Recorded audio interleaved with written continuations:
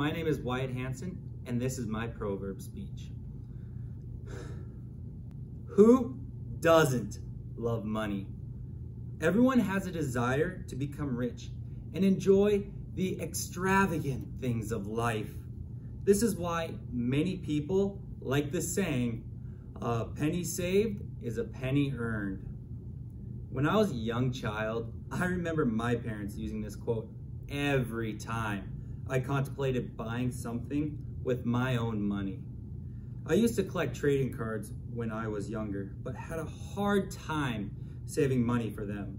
I'd always spend my money on something else like ice cream, little trinkets, or even little cars. I never really saved my money for the things I truly wanted because of never saving that hard-earned penny. This quote also needs to be used more within our society today.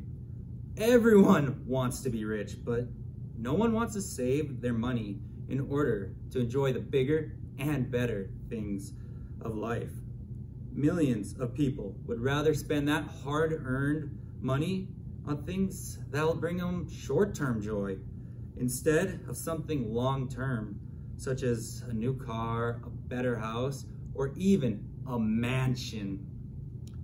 By people spending their money on things that bring them short-term enjoyment, such as gambling, small, treat, uh, small treats, trinkets, or even junk food, they truly never save their hard-earned money to spend later on the bigger things. This quote should also be used within our United States government a little bit more, if you know what I mean.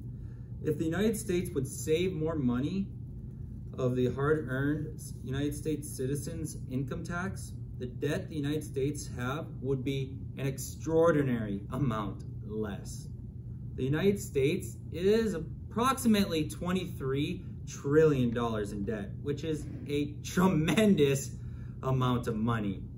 The United States is also not saving more money than it is spending, which is causing the already gigantic debt to increase even further. If the United States government would take a little bit more advice, if you know what I mean by this quote, a lot of problems that our country, which is being in debt, have could be solved. In summary, everyone, and when I say everyone, I mean every single person loves money, even if, even if they're not willing to admit it.